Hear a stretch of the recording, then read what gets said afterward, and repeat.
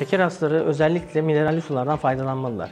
İçme suyumuzun bu güzelliği şeker hastalarının buraya gelip tedavi görmelerinde çok büyük avantaj sağlayacaktır. E, suyumuzun içerisinde bulunan mineraller şeker hastalarının vücudunda biriken toksik maddelerin vücuttan dışarı atılmasında önemli bir etkendir. Şeker regülasyonunun sağlanmasında suyumuzun çok büyük faydası vardır. Pankreastan salgılanan insülin hormonunun dengelenmesinde e, magnezyum ve nikel gibi elementlerin çok büyük rolü vardır. Dolayısıyla şeker hastalarının içmeden suyundan faydalanmalarını bekliyoruz.